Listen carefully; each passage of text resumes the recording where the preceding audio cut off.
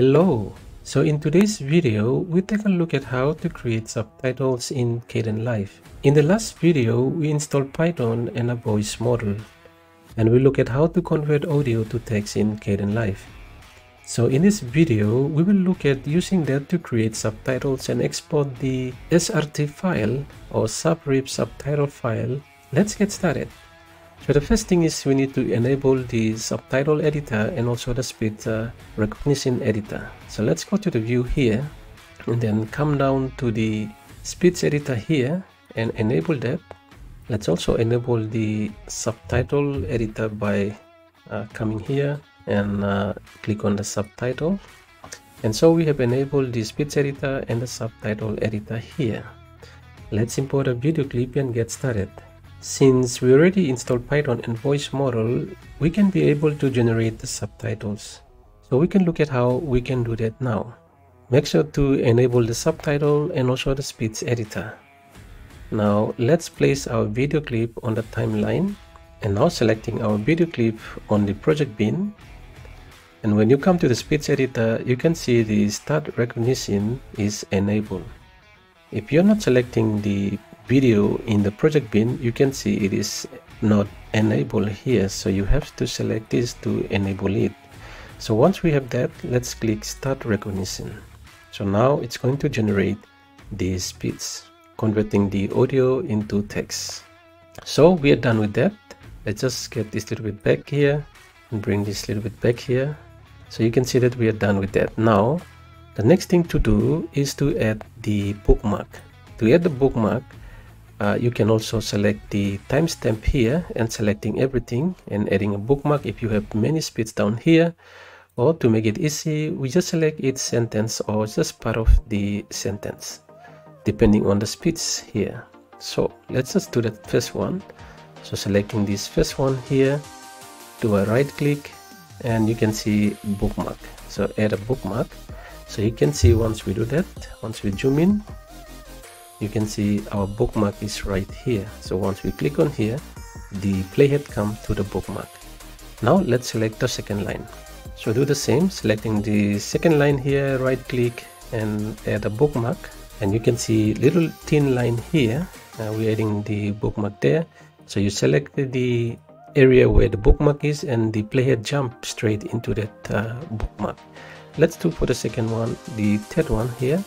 Right click and uh, add a bookmark and then let's do for the last one. Right click and the adding the bookmark.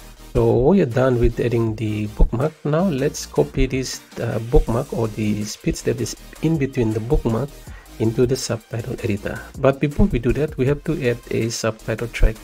To add a subtitle track you can either come here which is the uh, edit subtitle tool here or you can simply click on the plus sign here so when we click on this one you can see it's adding a subtitle track. Once we have that let's select the first bookmark here and placing our playhead in the front of that. And now let's come to this little plus sign here and click on that to add this little nice clip of the subtitle. Now let's trim this by dragging this and once it's snapped into the second bookmark here that's it. And um, we can go up to our speech from the speech editor selecting that and uh, copy that and paste it into the uh, subtitle editor here. So once we're here we can now be able to listen to our voice and uh, edit our text as uh, Kdenlive does not give you really accurate uh, uh word that is uh, set in the audio. So once we finish with the first one let's go to the second one by simply click on the in between the bookmark here and then click on the plus sign to add a new uh, speech editor or the subtitle editor here and simply adjust that. Now come up to the speech editor here select it then uh, copy that again and come to the subtitle and copy that in.